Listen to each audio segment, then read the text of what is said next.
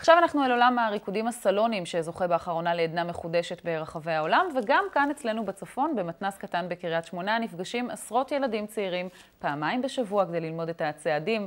גם אנחנו נסחפנו בקצב, הנה. אולג רוקד ריקודים סלונים מגיל שבע. את הבסיס למד כמובן באוקראינה, אבל גם כשעלה לארץ לא עזב את האהבה הגדולה שלו לריקוד. אחרי שזכה במקום הרביעי באליפות הארץ ב-2002, החליט לעזוב את הבמה לטובת הכשרת הדור הצעיר. ריקודים זה חיים, כן? ילדים משתתפים בתחרויות, הם מלמדים איך אה, להזיז את הגוף שלהם. אנחנו מפתחים את הקורדינציה, כן? הם גם רוקדים בזוגות, אז הם גם כן לומדים איך אה, להגיע לאיזושהי הסכמה אחד בין השני, כן? אה, זה לא פשוט.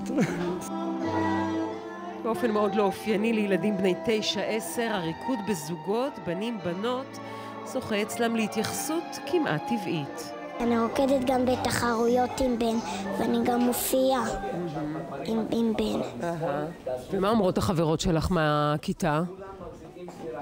הן לא אומרות כלום, הן רק צוחקות עליי, שימשיכו לצחוק. אני, אני ארקוד עם בן, זה הכי, זה הכי יפה לרקוד עם בן. מה עושה את הריקוד שלכם טוב? זה שאנחנו לא מתייחסים זה לזה. אה, באמת? אתה לא מתייחס אליה? לא. אז מי רוצה יותר ממי שהילד ירקוד ריקודים סלונים? אלה הם ההורים שדוחפים, או באמת רצון הילד. האמת שהגענו לזה בכלל ממקום שאני ואשתי רצינו, ואיכשהו היא מגשימה את הרצונות שלנו. הגעתי לכאן כי אני, אני אוהבת לרקוד, וזה נותן לי יותר מרץ, ויותר נותן לי בי כוח. האמת, הבחירה הייתה של אימא שלי, לא שלי. היא אמרה שזה יעזור לי בחיים. מה אתה חושב? שהיא כנראה צדקה. הילדים האלה שכבר משתתפים בתחרויות ארציות ואפילו זכו כבר במקום השני, חולמים להגיע רחוק. להיות ברוקדים עם כוכבים. להיות הרקדנית אה, סלונים בכל הארץ, הטובה ביותר. ואם יש משהו קטן שקצת מעיב על האופוריה, זה אולי רק דבר אחד.